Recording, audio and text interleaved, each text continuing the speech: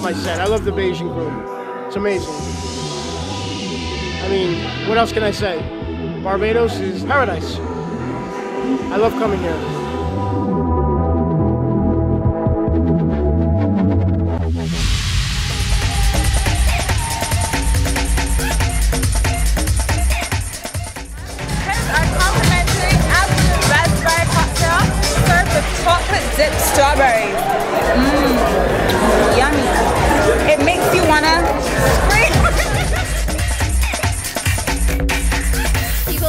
Music, but they're not playing it.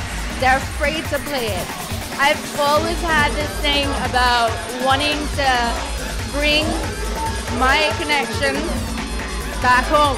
The performers like Marcus Visionary and people like Gremlins, oh, they all want to come to Barbados and Trinidad, but they have never known how. And I would also like to thank Simon and Radio Cassareep for working extremely hard, like I've never seen anyone work. And I think this will bring a lot more to come.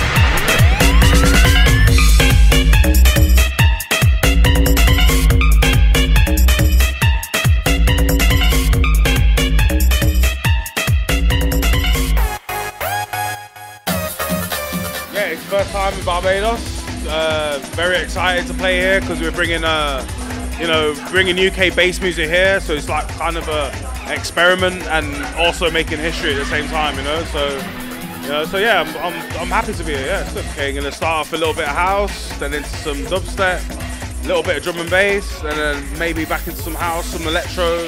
Uh, you know, just mix it up, you know. I play a bit of everything like when I DJ, so you know, just to make sure everyone knows what, you know, try and get everybody into the music.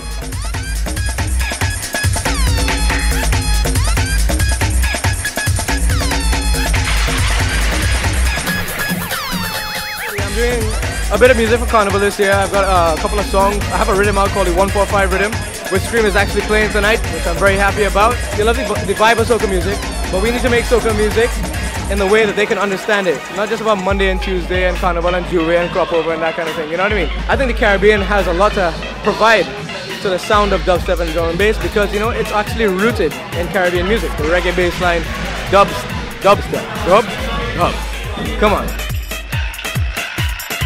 Introducing my boy, Mr. Skream!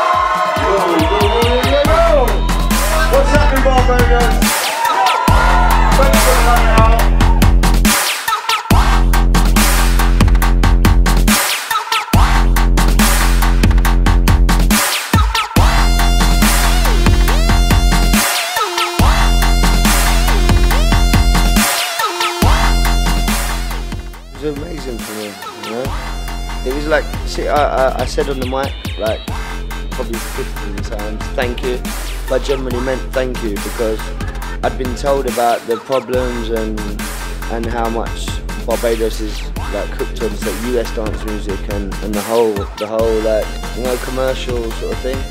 So I knew it was a little bit of a challenge, but I really enjoyed it. Never been here before, so for that many people to stay, like it's the first time in a long in in like six years that I've played in a city for the first time with nobody, with no expectation. So it was fun. It was fun. Barbados was amazing, but but Limegrove was even better. I sat in my hotel room all day and left my family on the beach, so to to make my set okay for here. So yeah, you had me. Yeah. I'm the flying fish that's grilled right now. Yeah you